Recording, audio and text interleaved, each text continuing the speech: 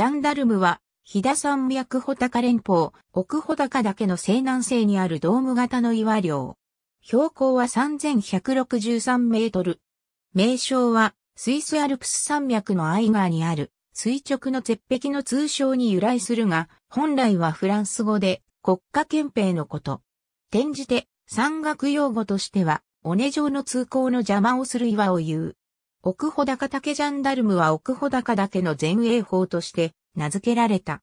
中部山岳国立公園内の西穂高岳と奥穂高岳との重走路途上にある。南北 3.5km、東西 1.5km。大きく、点をつく得意な形から山岳写真の被写体としてよく選ばれる。ジャンダルムの北側にも、ロバの耳、さらに北側に、馬の背と呼ばれる急峻な野生尾根の難所が続く。ジャンダールムを含めこれらの名が付けられたのは昭和になってからである。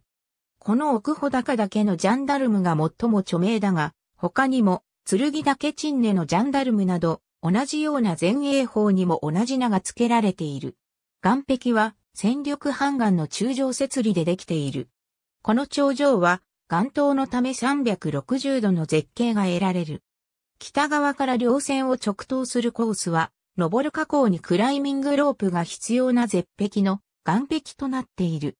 一般には南西の飛騨側から回り込んだ往復のコースが用いられるが、岩登り経験がある熟達者向けである。新州側の巻道でこの基部を通り、頂上を通らないで迂回することができる。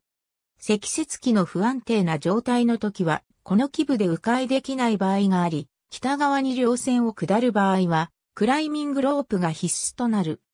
2009年8月23日に、登山家の田部井淳子と NHK アナウンサーの内尾野勝康が NHK 総合テレビジョンの中部7県向けの番組、金徳の北アルプス大重曹ついに来た。夢の頂でここに登場した。危険が伴うため、番組中では、プロの山岳ガイドがクライミングロープでサポートを行った。番組は翌月の9月18日に放送され、DVD も夏の北アルプスは絶景。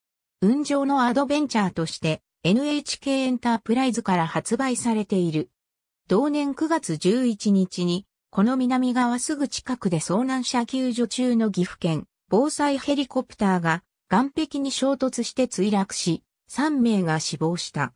ウィキメディアコモンズには、ジャンダルムに関するカテゴリーがあります。ありがとうございます。